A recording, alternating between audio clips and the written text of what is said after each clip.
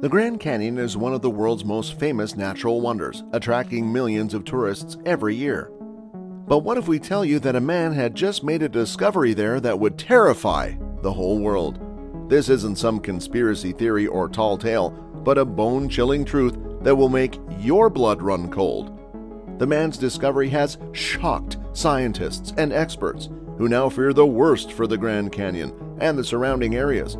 So get ready for an earth shattering revelation that will leave you questioning everything you thought you knew about this iconic landmark.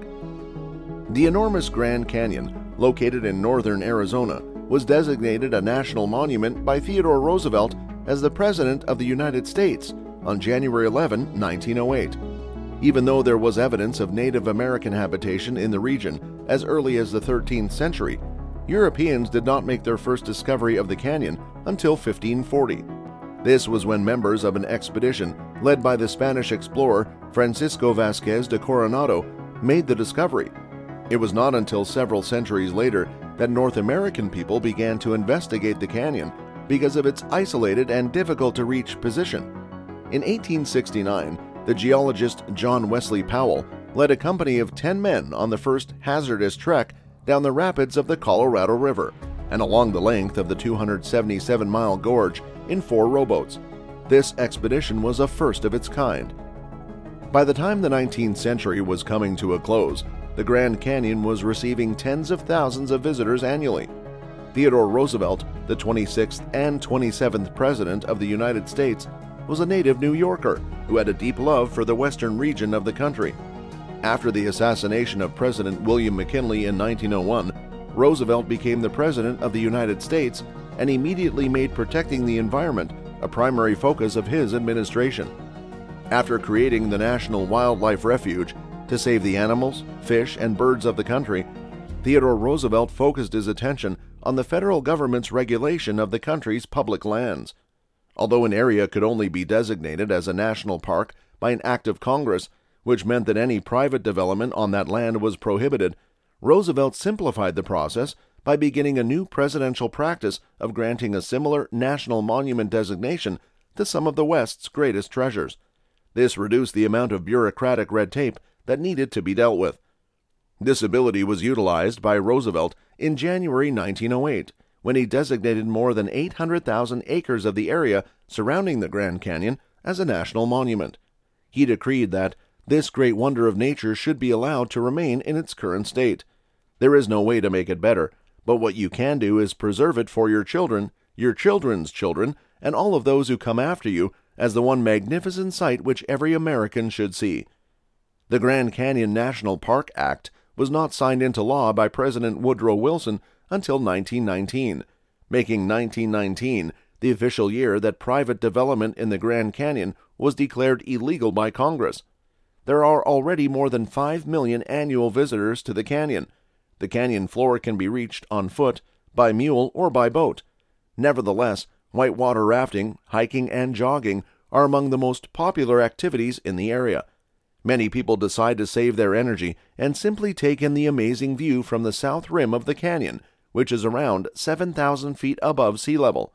From this vantage point, visitors may marvel at a panorama that has remained practically unchanged for over 400 years. Could the Grand Canyon article from 1909 have been made up? Skeptical authors, professors, and the Smithsonian of today all say the same thing that this is nothing but sensational yellow journalism. They claim it's a hoax from beginning to end, created to capitalize on the credulity and superstition of the general public by appealing to people's deepest spiritual needs. The essay seems unlikely at best, and like a dishonest attempt to make money by spreading tall tales at worst. There was never a follow up article, and the piece's mysterious author did a disservice to both believers and skeptics. Over a century later, the Smithsonian still refuses to confirm the existence of Kincaid or Professor Jordan, or even acknowledge that the story ever happened. The narrative further claims that Kincaid was accompanied on his second visit to the site by a Smithsonian archaeologist by the name of S. A. Jordan. However, the Arizona Gazette appears to be the only publication to have run the piece. Neither Kincaid nor Jordan appears in any official records.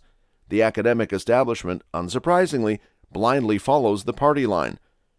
Online, a chorus of alternative researchers insists that the whole thing is an elaborate hoax. According to them, there is a forbidden zone in Grand Canyon National Park where it is strictly forbidden to go hiking, camping, or exploring. The odd place names in this supposedly restricted area are cited as more evidence that the area is being surreptitiously monitored by the federal government. The more radical alternative groups, on the other hand, see this as just the beginning of a much larger conspiracy, including underground reptilian overlords who control the governing elite. The skeptical view is well protected by thick walls of authority and plausibility, making it difficult for a single paper published over a century ago to penetrate its defenses. An objective researcher is right to doubt a newspaper and an unknown author, but it would be equally foolish to trust the official story given by a government agency that unquestionably does have a conflict of interest in manipulating the official story of human history.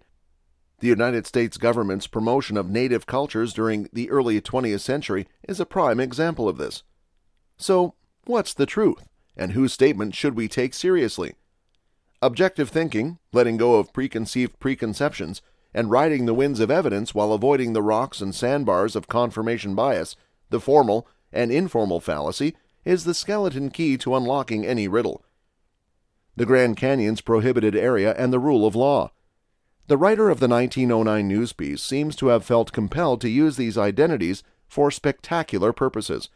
But the following step in inquiry confirms the assertion that this same section of the park is forbidden to examine, so this reasonable explanation quickly becomes challenging. The official document detailing the closed areas and roads in Grand Canyon National Park is predictably long and tedious to read, but it does contain some pertinent language such as the following. The following geographical areas and or roads within Grand Canyon National Park are closed to public use or are restricted by specific activities and or specific times for specific activities. Hopi Fire Tower and Access Road, Maricopa Point Endangered Plant Area, Hopi Salt Mines, extending from River Mile 62 to River Mile 62. Keep in mind that these so called mines are not actually mines and may have never been mine at all. Rather, they are interesting for what they are ancient man made tunnels, reportedly constructed by the Hopi. No one is allowed to enter any cave or mine in the park at any time, ever, without a permit, which will never be issued the text continues monotonously. Furthermore, anthropogenic features, e.g., mine works, that include a twilight zone and a zone of perpetual darkness will be managed as caves, as per the Federal Cave Resources Protection Act of 1988. The Backcountry Permits Office is where you can apply for and pick up the permits you need to comply with this provision. Airspace over the canyon and two other national parks, Yosemite and Haleakala, was restricted in 1987 by legislation purportedly meant to provide for substantial restoration of the natural quiet and experience of the park and protection of public health and safety from adverse effects associated with aircraft overflight. Restoring the park's tranquility and protecting visitors' health and safety? What possible negative consequences on public health and safety could an airplane's high altitude over the canyon have? And if noise is an actual problem, which is highly unlikely, why are they only concerned about it in three of the nation's 418 national parks? There are other connections between these three parks. All of these places share similarities such as a history of volcanic activity, the presence of karst earth deposits, the presence of large, as yet undiscovered cave systems, and local legends that center on long lost human civilizations, demigods, or gods. It is estimated that as many as 50,000 people may have made a comfortable home in the caves. Current Arizona Indian tribes may be descended from cave dwellers' serfs or slaves, according to one view. Many thousands of years before the Christian era, a highly developed civilization undoubtedly existed in this area. This idea fits nicely with Native American folklore depicting the Anasazi as ancient enemies, and there is undeniable proof that the Anasazi inhabited the area long before the current tribes and that dark thing were happening at these sites. Human remains were discovered, but no animal bones or skins were present. Finding human remains is not shocking in and of itself, but the circumstances under which they were uncovered are very foreboding. Big Cave, located in Canyon del Muerto, is only a short distance from Mummy Cave in the larger Canyon de Chelly, the Canyon of the Dead. A cist with a slab lining was discovered to contain the bodies of 14 infants. Four other children's remains were found in the large basket under the newborns. Legacies and liars. In point of fact, Professor David Starr Jordan was closely linked with the Smithsonian Institution for a period of 30 years, beginning in the 1880s and lasting until 1910. During this time, he participated in ichthyological excursions on the Colorado River and within the Grand Canyon. According to early census records, Starr was not his given middle name, and he did not choose it to become his legal middle name until much later in life. This meant that it did not become official until after he had already reached adulthood. Jordan was a staunch supporter of eugenics and served as president of Stanford University while he held this position. In 1899, Jordan wrote an essay titled A Study of the Decay of Races Throughout the Survival of the Unfit, in which he illustrated his irrationality regarding race degeneration and implored the effectuation of tremendous efforts designed to maintain racial unity. This essay was the result of Jordan's primitive pseudoscience and xenophobic paranoia. In later years, Jordan was the country that oversaw a statewide sterilization program, which was unequivocally a violation of human rights and a crime against humanity. In 2003, the name of many buildings in California was dishonorably removed, and the legislature of California overwhelmingly expressed its profound regret over the state's past role in the eugenics movement. In view of everything that has happened, it should not come as a surprise that the Smithsonian Institution would have hired him in the past to skew the historical narrative or that they are now trying to distance themselves from him. That's all for the video today.